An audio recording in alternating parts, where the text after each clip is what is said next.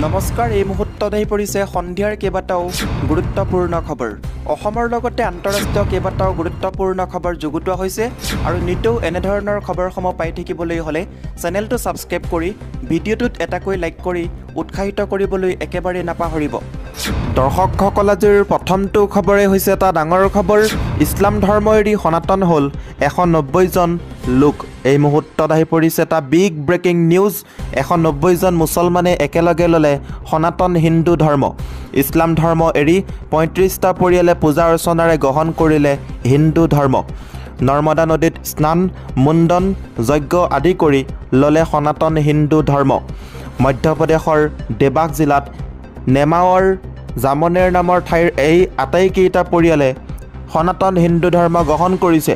পৰিয়ালকেইটাৰ মতে তেওঁলোকৰ পূৰ্বপুৰুষ সনাতন ধৰ্মৰ হিন্দু আছিল।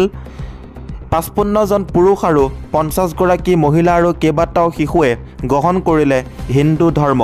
মুছলমান পৰিয়ালকেইটাৰ পূৰ্বপুৰুষে বহু অনাকাংক্ষিত পৰিস্থিতিত হিন্দুৰ পৰা মুছলমান হৈছিল। এতিয়া তেওঁলোকে সনাতন ধৰ্ম গ্ৰহণ কৰি নথৈ আনন্দিত হোৱাৰ কথা প্ৰকাশ কৰিছে সংবাদ মাধ্যমৰ আগত। এশ নব্বৈজন মুছলমানে একেলগে ল'লে সনাতন হিন্দু ধৰ্ম। দুই নম্বৰ খবৰটি হৈছে মূল্যবৃদ্ধিৰ বিৰুদ্ধে তীব্ৰ প্ৰতিবাদ। মূল্যবৃদ্ধিৰ বিৰুদ্ধে ৰাজপথত জনতাৰ প্ৰতিবাদ শ শ লোকৰ প্ৰতিবাদত কপিল ৰাজপথ। পেট্ৰল ডিজেল ৰন্ধন গেছ খাদ্য সামগ্ৰীৰ মূল্যবৃদ্ধিৰ বিৰুদ্ধে প্ৰতিবাদ। নিৰ্বাচনৰ পূৰ্বে বিজেপিয়ে মূল্যৰোধ কৰাৰ প্ৰতিশ্ৰুতি দিছিল। দুহেজাৰ চৈধ্য চনৰ পৰা নৰেন্দ্ৰ মোদী দেশৰ প্ৰধানমন্ত্ৰী হৈ আছে। অসমত দুহেজাৰ ষোল্ল চনৰ পৰা বিজেপিৰ চৰকাৰ হৈ আছে। আজি বিজেপি নৰেন্দ্ৰ মোদী হিমন্ত বিশ্ব শৰ্মালৈ আমাৰ প্ৰশ্ন কংগ্ৰেছৰ দিনতকৈ আপোনালোকে কোনবিধ সামগ্ৰীৰ কিমান কিমান দাম কমালে? দাম কম কৰা সামগ্ৰীৰ তালিকা ৰাজহুৱা কৰক বুলি মুখ্যমন্ত্ৰী হিমন্ত বিশ্ব শৰ্মা আৰু প্ৰধানমন্ত্ৰী নৰেন্দ্ৰ মোদীক প্ৰশ্ন তুলিছে। এসময়ত ৰন্ধন গেছৰ চিলিণ্ডাৰক লৈ পিঁয়াজৰ মালা পিন্ধি প্ৰতিবাদ কৰিছিল মূল্যবৃদ্ধিৰ ফলত সাধাৰণ ৰাইজ জীয়াই থাকিবলৈ কষ্ট হৈছে। নিৰ্বাচনৰ সময়ত শিৰ ফুলাই মূল্যবৃদ্ধি হ্ৰাস কৰাৰ ভাষণ দিছিল। আজি মুখ্যমন্ত্ৰী আজি মূল্যবৃদ্ধি হ্ৰাস কৰাৰ প্ৰতিশ্ৰুতিৰ সেই কণ্ঠ ক'ত লোকাল বুলি প্ৰশ্ন তুলিছে প্ৰতিবাদকাৰী জনতাই। মূল্যবৃদ্ধিৰ বিৰুদ্ধে বৰপেটাত কংগ্ৰেছে সাব্যস্ত কৰে তীব্ৰ প্ৰতিবাদ। মূল্যবৃদ্ধিৰ বিৰুদ্ধে প্ৰতিবাদ সাব্যস্ত কৰি কংগ্ৰেছ নেতা জাকিৰ হুছেইন চিকদাৰৰ প্ৰশ্ন। এটা ডাঙৰ খবৰ দিল্লী কঁপাইছে প্ৰতিবাদী জনতাই মূল্যবৃদ্ধিক লৈ। তিনি নম্বৰ খবৰটি হৈছে কৃষকসকলৰ বাবে ডাঙৰ খবৰ শীঘ্ৰেই একাউণ্টলৈ আকৌ আহিব ধন। কৃষকসকলে প্ৰধানমন্ত্ৰী কিষাণ যোজনাৰ অধীনত এতিয়ালৈকে মুঠ আঠাইছ হাজাৰ টকা লাভ কৰিছে। ইয়াৰ পিছত পোন্ধৰতম কিস্তি কেতিয়া মুকলি কৰা হ'ব সেই বিষয়ে সকলোৱে অপেক্ষা কৰি আছে। মোদী চৰকাৰে শেহতীয়াকৈ প্ৰধানমন্ত্ৰী কিষাণ যোজনাৰ ধন বেংক একাউণ্টত জমা কৰিছিল। এই ধন ধনখিনি চতুৰ্থদৰ্শ কিস্তিৰ অধীনত প্ৰায় আঠ দশমিক পাঁচ কোটি যোগ্য কৃষকসকলে ধন লাভ কৰিব। কৃষকসকলৰ একাউণ্টত দুই হাজাৰ টকা জমা কৰা হৈছিল। ইয়াৰ লগতে কৃষকসকলে প্ৰধানমন্ত্ৰী কিষাণ যোজনাৰ অধীনত মুঠ আঠাইছ হাজাৰ টকা লাভ কৰিছে। ইয়াৰ পিছত পোন্ধৰতম কিস্তি কেতিয়া মুকলি কৰা হ'ব সেই বিষয়ে সকলোৱে অপেক্ষা কৰিছে। প্ৰধানমন্ত্ৰী কিষাণ আঁচনিখন নৱেম্বৰ মাহত কৃষকসকলে পাব বুলি আশা কৰা হৈছে। পোন্ধৰতম কিস্তি লাভ কৰিলে কৃষকসকলে মুঠ ত্ৰিছ হাজাৰ টকা পোৱা পোৱা হ'ব। এই ধৰণে কৃষকসকলক যথেষ্ট সকাহ দিয়ে কিন্তু কেৱল এইসকল কৃষক যি আই কে ই ভি কৰিছে তেওঁলোকেহে এই ধন লাভ কৰে।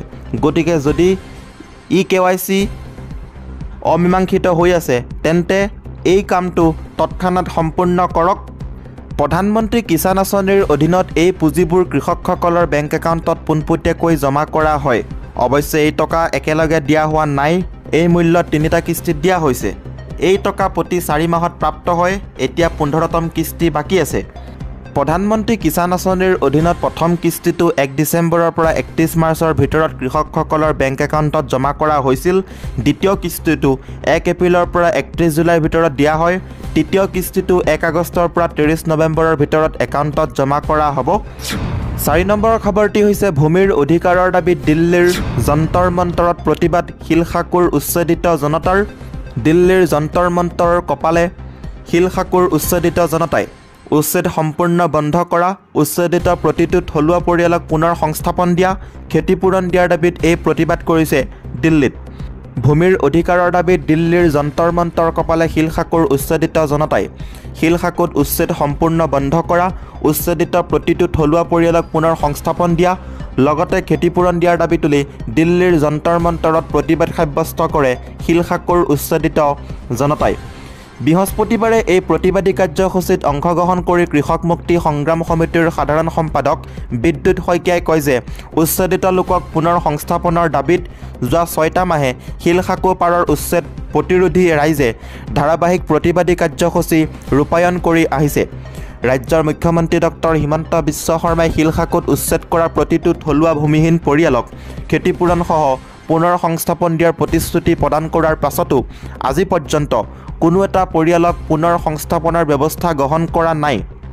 তাৰ বিপৰীতে চৰকাৰে বহিৰাগত পুঁজিপতিক সংস্থাপিত কৰাৰ স্বাৰ্থত শিলসাকুত পুনৰ উচ্ছেদ চলাবলৈ সাজু হৈছে। চৰকাৰৰ এনে খিলঞ্জীয়া বিৰোধী নীতিৰ বিৰুদ্ধে বৃহস্পতিবাৰে নতুন দিল্লীৰ যন্তৰ মন্তৰত এনেদৰে প্ৰতিবাদ সাব্যস্ত কৰিবলৈ বাধ্য হয় শিলসাকুৰ উচ্ছেদিত লোক। তেওঁ লগতে কয় যে জাতি মাটি ভেটিৰ কথা কোৱা চৰকাৰখনে শিলসাকুত কেৱল বাছি বাছি থলুৱা লোকক উচ্ছেদ কৰাৰ বিপৰীতে শিলসাকুৰ বুকুত থকা বাহিৰাগত পুঁজিপতিৰ বৃহৎ বৃহৎ অট্টালিকাত উচ্ছেদ চলোৱা নাই। এয়াই হিমন্ত বিশ্ব শৰ্মা চৰকাৰৰ খিলঞ্জীয়া প্ৰীতি নেকি বুলি প্ৰশ্ন কৰে তেওঁ।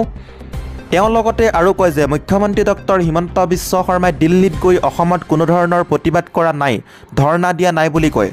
অসমত সকলো মানুহে তেওঁক মৰমত মামা বুলি মাতে। এই কথাটো সম্পূৰ্ণ মিছা। অসমত অসমীয়া সুৰক্ষিত নহয়। সেয়া আমি আজিৰ এই প্ৰতিবাদী কাৰ্যসূচীৰ জৰিয়তে প্ৰধানমন্ত্ৰী গৃহমন্ত্ৰীৰ দৃষ্টি আকৰ্ষণ কৰিব বিচাৰিছোঁ এই বুলি মন্তব্য কৰে নেতাজনে। ছয় নম্বৰৰ খবৰটি হৈছে? থু পেলালে আপুনি দেশদ্ৰোহৰ গোচৰ তৰে। কবিতা লিখিলে জেললৈ পঠিয়াই এই কথা মন্তব্য কৰিছে অখিল গগৈ। জেহাদীৰ সন্দেহত মাদ্ৰাছা ভাঙে। এই মন্তব্য কৰিছে মুখ্যমন্ত্ৰী হিমন্ত বিশ্ব শৰ্মালৈ লিখা অখিল গগৈৰ সম্পূৰ্ণ চিঠিখন। এই মুহূৰ্তত আপোনালোকক জনাব বিচাৰিছোঁ কবিতা লিখিলে জেললৈ পঠিয়াই হিমন্ত বিশ্ব শৰ্মাই জেহাদী সন্দেহত মাদ্ৰাছা ভাঙি পেলাই আজি আপোনাৰ বিদ্যালয়ত বন্দুকৰ গুলী ফুটিল কি ব্যৱস্থা ল'ব আপুনি? মুখ্যমন্ত্ৰী হিমন্ত বিশ্ব শৰ্মালৈ অখিল গগৈয়ে মুকলি চিঠিত দহটা প্ৰশ্ন তুলিছে। প্ৰশ্নকেইটা এই মুহূৰ্তত জনাইছোঁ আপোনালোকক থু পেলালে আপুনি দেশদ্ৰোহৰ গোচৰ তৰে। কবিতা লিখিলে জেললৈ পঠিয়াই মুখ্যমন্ত্ৰী হিমন্ত বিশ্ব শৰ্মাই অখিল গগৈয়ে প্ৰশ্ন তুলিছে। জেহাদীৰ সন্দেহত মাদ্ৰাছা ভাঙে তেওঁ। বজৰঙৰ বিৰুদ্ধে ব্যৱস্থা নল'লে আপুনি ধৰা পৰি যাব। নিৰ্বাচন জিকিবলৈ সাম্প্ৰদায়িক সংঘৰ্ষৰ সৃষ্টি কৰিব খুজিছে নেকি? এই প্ৰশ্ন তুলিছে অখিল গগৈয়ে হিমন্ত বিশ্ব শৰ্মাৰ বিৰুদ্ধে। বজৰং দলক নিষিদ্ধ ঘোষণা কৰি সাহস দেখুৱাওক বুলি কৈছে। থু পেলালে আপুনি দেশদ্ৰোহৰ গোচৰ তৰে। কবিতা লিখিলে জেললৈ পঠিয়াই জেহাদীৰ সন্দেহত মাদ্ৰাছা ভাঙে হিমন্ত বিশ্ব শৰ্মাই বজৰঙৰ বিৰুদ্ধে ব্যৱস্থা নল'লে আপুনি ধৰা পৰি যাব বুলি মন্তব্য কৰিছে অখিল গগৈ প্ৰশ্ন উত্থাপন কৰিছে নিৰ্বাচন জিকিবলৈ সাম্প্ৰদায়িক সংঘৰ্ষৰ সৃষ্টি কৰিব খুজিছে হিমন্ত বিশ্ব শৰ্মাই। সাত নম্বৰ খবৰটি হৈছে যুদ্ধৰ বাবে সাজু হ'বলৈ নিৰ্দেশনা দিছে। দেশবাসীক যুদ্ধৰ বাবে সাজু থাকিবলৈ ক'লে ভাৰত চৰকাৰে পকক লৈ সদনত ডাঙৰ সিদ্ধান্ত ল'বলৈ গৈ আছে চৰকাৰ। পি অ' কে কাহিনী অনাৰ ছিগনেল দিছে চৰকাৰে। ভাৰতীয় সেনাই যিকোনো মুহূৰ্তত এল অ' চি অতিক্ৰম কৰিব পাৰে ৰাজনাথ সিঙে দেশবাসীক প্ৰত্যক্ষ যুদ্ধৰ বাবে সাজু হৈ থাকিবলৈ ক'লে। এটা ডাঙৰ খবৰ আঠ নম্বৰ খবৰটি হৈছে এটা বিগ ব্ৰেকিং নিউজ ঋণ পৰিশোধ নকৰাৰ বাবে মহিলাক অপহৰণ কৰি নিয়াৰ কৰি নি দহ দিন উপৰ্যুপৰি ধৰ্ষণ কৰিছে পাখানে এটা বিগ ব্ৰেকিং এই মুহূৰ্তত আমাৰ হাতত আহি পৰিছে। দেশত তীব্ৰগতিত বৃদ্ধি পাইছে অপৰাধজনিত ঘটনা। হত্যা ধৰ্ষণ আদিৰ ঘটনাই জৰ্জৰিত কৰিছে দেশখনক। ইয়াৰ মাজতে ৰাজস্থানৰ ৰাজল দেশৰ জিলাৰ পৰা এক ভয়ংকৰ ঘটনা পোহৰলৈ আহিছে। অভিযোগ অনুসৰি পঁচিছ বছৰীয়া এগৰাকী মহিলাই ঋণ পৰিশোধ নকৰাৰ বাবে অপহৰণ হৈছিল। কেৱল ইমানেই নহয় মহিলাগৰাকীৰ চাহত নিচাযুক্ত দ্ৰব্য দি অচেতন কৰি দিল্লীলৈ নি ধৰ্ষণ কৰে। অভিযোগ অনুসৰি অভিযুক্ত সঞ্জয় নেধুৱালে মহিলাগৰাকীৰ অশ্লীল ভিডিঅ' ৰেকৰ্ড কৰে আৰু ভাইৰেল কৰাৰ ভাবুকি দি প্ৰায় দহ দিন ধৰি ধৰ্ষণ কৰে। মহিলাগৰাকীয়ে এই সন্দৰ্ভত এজাহাৰ দাখিল কৰে। আৰক্ষীৰ মতে মহিলাগৰাকীয়ে সামূহিক ঋণ লৈছিল। তেওঁ কিস্তি হিচাপত সঞ্জয়ৰ ওচৰত ঋণ পৰিশোধ কৰি আছিল কিন্তু কৰোণাৰ বাবে তেওঁলোকৰ আৰ্থিক সমস্যাই দেখা দিছিল যাৰ বাবে ঋণ পৰিশোধ কৰিব পৰা নাছিল। কিন্তু এদিন মহিলাগৰাকীয়ে ক'ৰবালৈ গৈ থকা অৱস্থাত তেওঁক অপহৰণ কৰি লৈ যায়। মহিলাগৰাকী ঘৰলৈ নহাৰ বাবে আৰক্ষীৰ ওচৰত পৰিয়ালৰ লোকে এজাহাৰ দাখিল কৰে। তাৰ পিছতেই আৰক্ষীয়ে মহিলাগৰাকীক উদ্ধাৰ কৰে। বৰ্তমান সঞ্জয় পলাতক আছে। দৰ্শকসকল আজিৰ ভিডিঅ'টোৰ মাধ্যমেৰে আপোনালোকক বহুকেইটা গুৰুত্বপূৰ্ণ খবৰ দিব চেষ্টা কৰিলোঁ। যদি আপোনালোকৰ খবৰকেইটা শুনি ভাল লাগিছে ভিডিঅ'টো লাইক কৰিব শ্বেয়াৰ কৰিব। এনেধৰণৰ গুৰুত্বপূৰ্ণ খবৰ নিতৌ পাই থাকিবলৈ হ'লে চেনেলটো ছাবস্ক্ৰাইব কৰিবলৈ নাপাহৰিব। ধন্যবাদ।